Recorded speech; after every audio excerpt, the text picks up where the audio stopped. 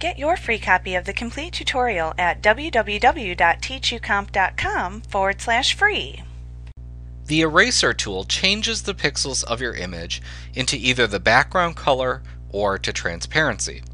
The pixels change to the background color on layers with a locked transparency or a background layer. Otherwise, pixels are erased to transparency. To select the eraser, click the Eraser Tool button over in the toolbox, located right here. Then you just click and drag in your image to apply the background color that you have selected. We have just white selected right now, so when we click and drag, that's what would be applied.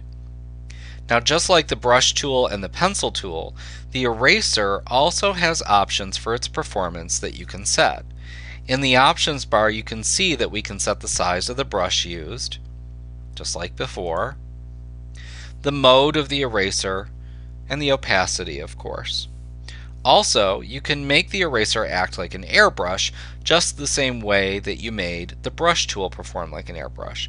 You just click the airbrush button, which is located right here,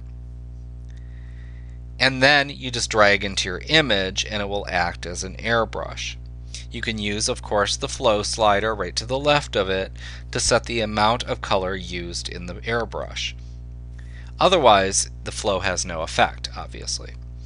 If you select the Erase to History checkbox, this one right here, and then click the left column of the state or snapshot in the history panel, you can erase to a saved state or snapshot as well.